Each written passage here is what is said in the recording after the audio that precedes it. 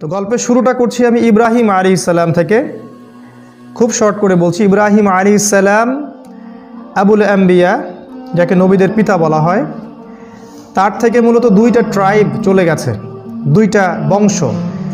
আমরা জানি একটা বংশ হচ্ছে সারা আলী সালামের গর্ভে, ইসহাক আলী ইসাল্লাম ইব্রাহিম আলী ইসাল্লাম তার প্রথম স্ত্রী সারা আলী এবং তার গর্ভে যে সন্তান, তার নাম ইসহাক আলী ইসাল্লাম তাকে তিনি রেখে আসেন ফিলিস্তিনে, অর্থাৎ জেরুজালেমে। তার আরেকজন স্ত্রী হাওদেরা আলী তার গর্ভে জন্ম নেন ইসমাইল আলী ইসাল্লাম তাদেরকে তিনি রেখে আসেন মক্কায়, কাবা ঘরের পাশে। জেরুজালেমে সারা আলী গর্ভ থেকে একটা সম্প্রদায় সৃষ্টি হচ্ছে। এদিকে হাদারা আলী সালামের গর্ভে ইসমাইল আলী ইসালামের বংশ তৈরি হচ্ছে। ইসমাইল আলী ইসালামের বংশের সর্বশেষ নবীর নাম মোহাম্মদুর রসুল্লাহ সাল আলী হাসাল্লাম মূলত এই বংশে বেশি নবী আসেননি। সারা আলী সালামের গর্ভে যে ইসহাক আলী ইসালাম তাদের বংশেই সবচেয়ে বেশি নবী এসেছেন। একদিকে মক্কা, আরেকদিকে জেরুজালেম। এই দুইটা শহরকে কেন্দ্র করেই এই বিশ্বের সভ্যতা গড়ে উঠেছে। আজকে আমাদের ইউনিভার্সিটিতে শেখানো হয়, সভ্যতা আসছে মূলত পশ্চিম থেকে। অথচ সভ্যতা শুরু হয়েছে নবী দ্বারা। আর মানুষের জ্ঞানের উৎস হচ্ছে আসমানি কিতাব দ্বারা। যাই হোক, ইসহাক আলী ইসালামের পরে তার সন্তানের নাম ইয়াকুব আলী ইসালাম ইয়াকুব আলী ইসালামের আরেকটা নাম হচ্ছে ইসরাইল এজন্যই তার বংশধরদেরকে বলা হয় বানু ইসরাইল কোরআনের যেখানেই হাত দিবেন, সেখানেই বানু ইসরাইল। এবং স্পেশালি একটা সুরাই আছে বানু ইসরাইলের সম্পর্কে। তাই আমরা দেখতে পাচ্ছি বানু ইসরাইলের শহর হচ্ছে জেরুজালেম। ওটা তাদের শহর। তো ইসাহাক আলি ইসলামের বংশ থেকে এরপরে অনেক নবী এসেছেন। লক্ষ, লক্ষাধিক, লাখের উপরে। আল্লাপাক সবাইকে একটা কমন আদেশ করেছিলেন। একটা কমন অর্ডার যেটা প্রত্যেকেই করা হয়েছিল। সেটা সুরা বানী ইসরায়েলের মধ্যে আছে। আল্লাপাক বলেছেন ওয়াইন তোমরা যদি অঙ্গীকার পূরণ করো, আমিও অঙ্গীকার পূরণ করব। তোমরা আমার সাথে ফেথফুল থাকো, আমি তোমাদেরকে সম্মানিত করব। তক্ষান্তরে তোমরা যদি আমার আদেশ অমান্য করো আমি তোমাদেরকে বাইতুল মাকদাস বা জেরুজালেম থেকে বহিষ্কার করব। কমন অর্ডার সবাইকে দেওয়া হয়েছিল। আর প্রতিবারই বনু ইসরাইল এই অর্ডারটা ভঙ্গ করে।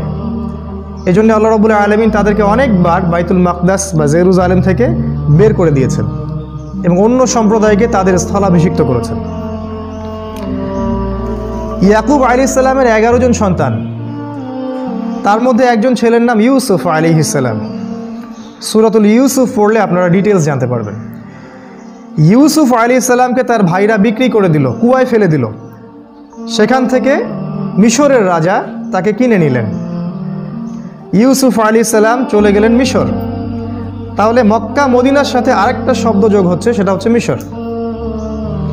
মিশরে ইউসুফ আলী ইসলাম রাজ পরিবারে লালিত পালিত হতে থাকলেন। এক পর্যায়ে আল্লাহ রবুল্লা আলমিন তাকে জেলখানায় নিয়ে গেলেন।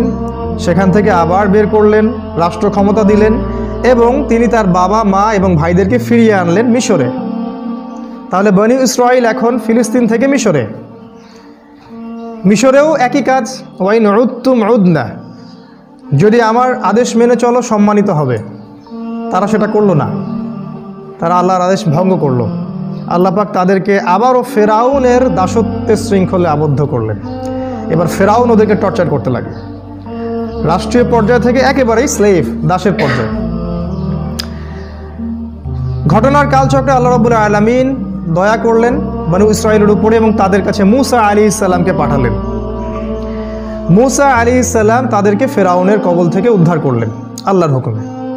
ডিটেলস আপনারা জানেন। তাদেরকে লোহিত সাগর পাড়ি দিতে হলো। তুর পাহাড়ের কাছে তারা আসলেন। আল্লাহ পাক মুসা আলি ইসলামের কাছে তাওরাত নাজিল করলেন। আবারও বনু ইসরায়েল কিন্তু ঘুরে গেল। দাস থেকে আবার একটা সম্মানিত জায়গায় তারা চলে আসলো। কিন্তু মুসা আলি ইসলামের পর তারা তাওরাতটা ফলো করল না। তাওরাতের কমান্ড যেগুলো ছিল এগুলো তারা ফলো করল না। মুসা আলি ইসলাম তাদেরকে বললেন, আল্লাহ পাক আমাদেরকে ফেরাউনের কবল থেকে নাজাদ দিয়েছেন। এখন আমাদের উপর একটা ফরজ বিধান আল্লাহ দিয়েছেন, সেটা হলো জিহাদ। জিহাদ ফিসাবিল্লাহ তিনি তুর পাহাড় থেকে দেখলেন বাইতুল মকদাস, যেটাকে হোলি ল্যান্ড বলা হয়, পবিত্র ভূমি, সেটা দেখা যাচ্ছে। মুসা আলী ইসলাম তার সম্প্রদায়কে বললেন, আল্লাহ পাক আমাদেরকে তাদের বিরুদ্ধে যুদ্ধ করতে বলেছেন। মুসা আলী ইসলামের কম বানু ইসরায়েল তারা বলল, আমরা কীভাবে তাদের সাথে যুদ্ধ করতে পারি? তারা তো অনেক শক্তিশালী। তাদের সম্প্রদায়ের নাম আমালেকা সম্প্রদায়, অনেক শক্তিশালী। তাই তারা রিপ্লাই করলেন যে, মুসা, তুমি এবং তোমার রব গিয়ে যুদ্ধ করো। আমরা এখানে বসে আছি।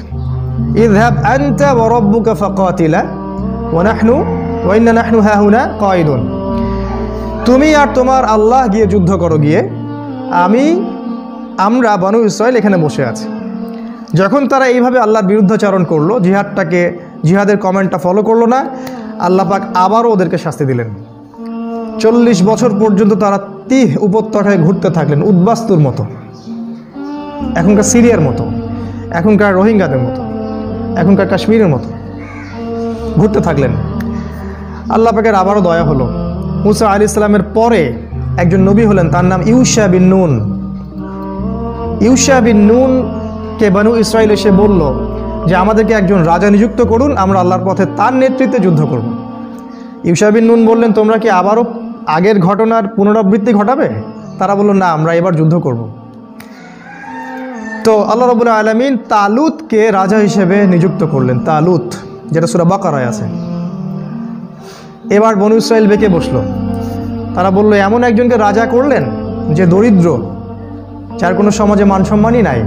আর আমরা তো ওর চেয়ে অনেক বেশি সম্পদশালী। অনেকটা আমাদের পলিটিক্যাল লিডার লিডারদের মতো কথা আর কি। তারপর তালুতের নেতৃত্বে আল্লাপাক বললেন, তালুতকে আমি প্রজ্ঞা দিয়েছি এবং শারীরিক শক্তি দিয়েছি। প্রজ্ঞা দিয়েছি শারীরিক শক্তি দিয়েছে। দিনে আল্লাহর পথে কাজ করার দুইটা বেসিক জিনিস। ফিজিক্যালি স্ট্রং যেটা আমাদের নাই, আর প্রজ্ঞা দুটো দরকার। তালুত নেতৃত্ব দিলেন। তালুতের যে সেনাবাহিনী, তার মধ্যে একটা বালক ছিল। সেই বালকের নাম দাউদ আলী ইসালাম আর এই দাউদ আলী ইসালামের ছোড়া বাটুল, যেটাকে আমরা বলি পাথর, এই পাথরেই অপোজিট যে সেনাপতি, জালুত, তার চোখে গিয়ে লাগে। এবং এই ঘটনার পরিপ্রেক্ষিতেই মাত্র তিনশো তেরো কি সতেরো জন নিয়ে তারা আবারও বাইতুল মাকদাস জয় করল। দাউদ আলী ইসলামের এই ভূমিকার কারণে তালুত তাকে উপরের পদমর্যাদা নিয়ে আসলেন এবং দাউদ আলী ইসাল্লাম নবুয়ত পেলেন চল্লিশ বছর বয়সে এবং তার নেতৃত্বে সর্বপ্রথম, ইতিহাসের সর্বপ্রথম জেরুজালেমে ইসলামী স্টেট কায়েম হলো। এর আগ পর্যন্ত এত বড় টেরিটরির মধ্যে কখন ইসলামিক স্টেট ছিল না। তাহলে ইসলামিক স্টেটের প্রথম আমির বা প্রথম রাজা বা প্রথম নবী হচ্ছেন দাউদ আলী ইসাল্লাম এটা অনেক পরের ঘটনা। তারপর তারা পৃথিবীর রুলিং স্টেটে পরিণত হলেন। জেরুজালেম থেকে দাউদ আলী ইসাল্লাম বিশ্ব শাসন করতে থাকলেন। এবং তার মৃত্যুর পর তার ছেলে সুলাইমান আলী ইসাল্লাম আরও হাজার গুণ বেশি শক্তি নিয়ে সারা বিশ্ব শাসন করতে থাকলেন। আল্লাপাক তাকে পাখির ভাষা, জিনের ভাষা, সম্পদ, লোহা, সোনা, রূপা এভরি সিঙ্গেল সেক্টর যেটা আমাদের দরকার, একটা অত্যাধুনিক রাষ্ট্র হওয়ার জন্য সব কিছু আল্লাপাক সুলাইমান আলী ইসলামকে দিলেন। এতটা দিলেন যে আমাদের নবী মোহাম্মদ সাল্লাহ সাল্লাম বলেছেন যে, একদিন একটা জিন আমাকে ডিস্টার্ব করছিল। আমি চাইলাম জিনটাকে বেঁধে রাখব, কিন্তু তখন আমার সুলাইমানের কথা মনে পড়ল। আমার ভাই সুলাইমানের কথা মনে পড়ল।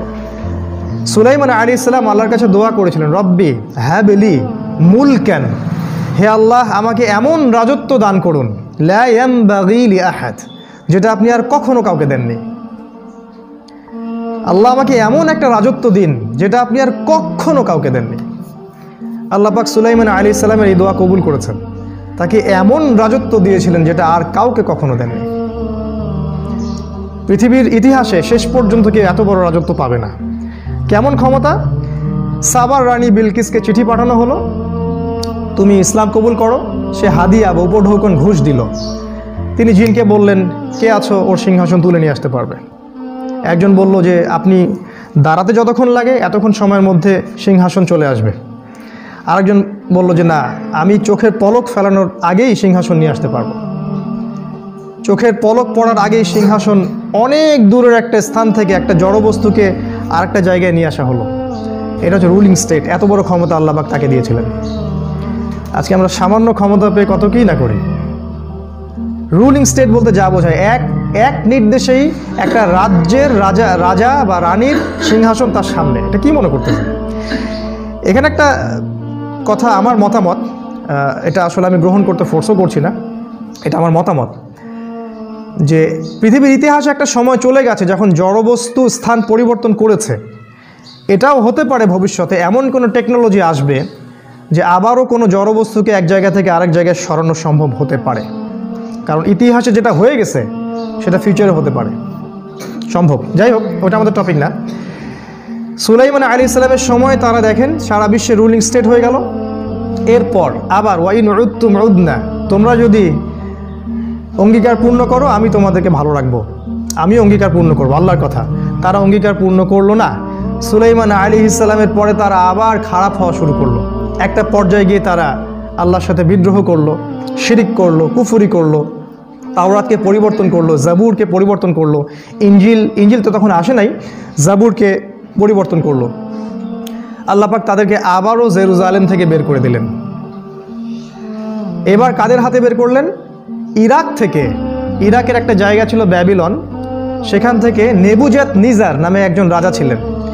এই রাজা গিয়ে ওই জেরুজালামকে আক্রমণ করে এবং সব বনু ইসরায়েলকে সে দাস বানিয়ে আবার ইরাকে ফেরত নিয়ে আসে। বনু ইসরায়েল জেরুজালেম হারালো। সুলাইমান আলী ইসলামের কিংডম শেষ। Ruling state collapse.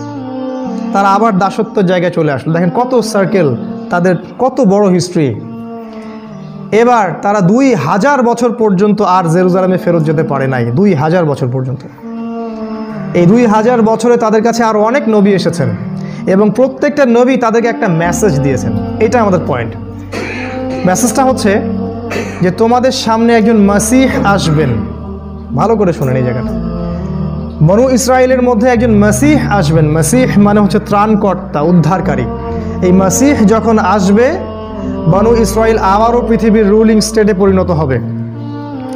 এটা ওদের ধর্মগ্রন্থে লেখা আছে, বা কেউ লিখে দিয়েছে। কারণ এটা ঐশ্বরিক না।